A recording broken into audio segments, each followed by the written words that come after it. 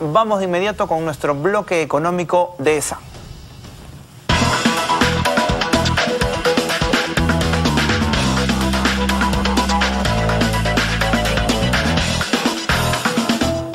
Bien, a esta hora de la tarde tenemos como siempre nuestro bloque de SAN y vamos a hablar respecto al tema de la educación financiera y, los preparados que estamos o, no estamos los, los, peruanos en general en estos temas, la, capacidad que tenemos para conocer detalles, por ejemplo, de la tarjeta de crédito, de la tarjeta de débito, las tasas, los tipos de transacciones que podemos realizar, en fin, toda esa situación. Estamos conectados ya con el profesor de San Jorge Guillén, a quien como siempre le agradecemos su gentileza. Profesor Guillén, ¿cómo está? Buenas tardes.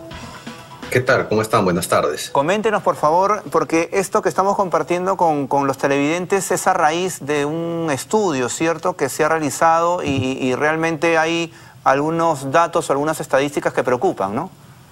Sí, es una encuesta de la SBS ya actualizada al 2022, comparada con el 2019, prepandemia, en esos tres años hay un salto importante, interesante, y un cambio hacia, la digitalización, por ejemplo. Cuando antes este, lo más conocido de productos financieros eran depósitos, tarjeta de crédito, de consumo, y ahora ya este, está la billetera electrónica móvil, que en el 2019 era imposible de, que, de hablarlo, pero estos sucesos de pandemia han hecho de que ya un buen porcentaje esté interesado. Pero lo que sí sorprende es que todavía hay poco acceso a información, más que nada la información está basada en familiares, eh, entiende muy poco de diversificación, casi un tercio nada más. Eh, como te digo, los productos más este, notables o importantes son eh, depósitos, tarjeta de crédito.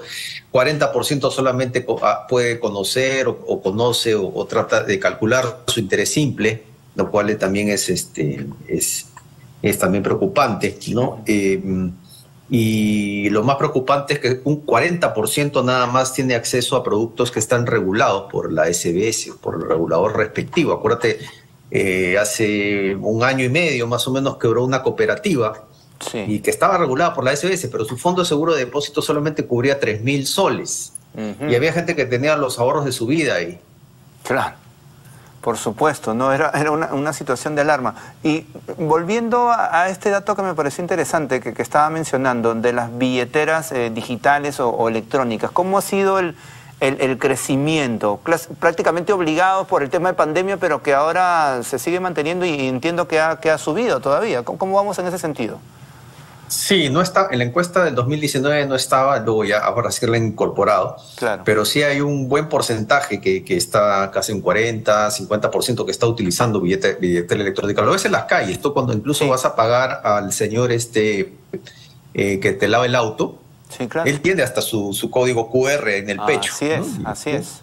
Y le da su, su, para lavar el auto, para el vigilancia, hasta la persona que te vende chupetes en la calle o también o igual frutas, este, o frutas, frutas sí, claro, claro, claro.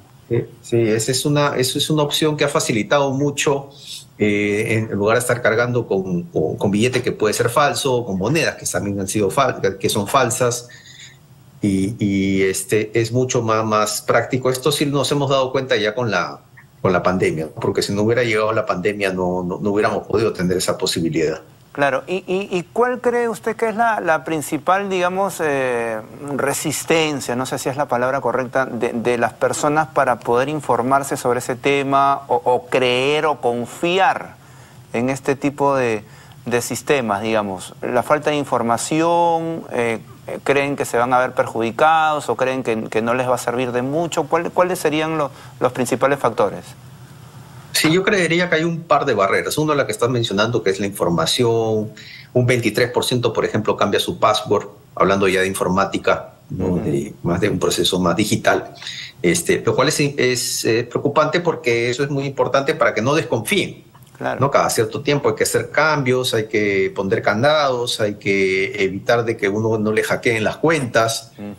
¿no? Em, quizás hay un elemento de desconfianza aquí. Y otro elemento, también otra barrera, es que muchos tienen, no pueden abrir cuentas porque están en Infocorp. Entonces, si tú, le yapeas ese, y está en Infocor, pues tiene una deuda que el, el, banco va a tratar de coger ese dinero. Eso es lo que pasaba con los bonos, en los bonos que otorgó Vizcarra. Eh, muchos este, se entregaban a San Cola en el Banco de la Nación y se entregaban en físico porque no podían abrir una cuenta. Después ya crearon una cuenta que no tenía esas, este, que eran unas cuentas eh, intangibles, ¿no? Correcto. Bien, profesor Guillén, el tiempo nos ha ganado, pero muy interesante todo lo que ha compartido con bloque económico de San.